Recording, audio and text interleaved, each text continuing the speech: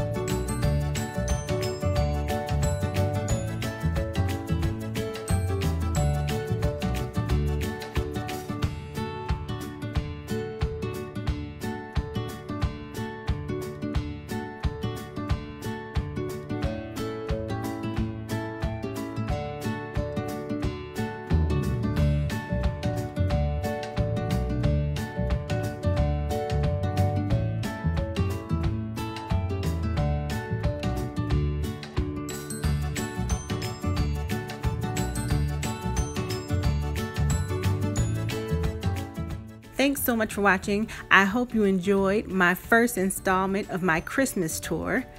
There will be several more to come, so stay tuned. Happy shopping and happy decorating. Happy holidays, guys. See you soon.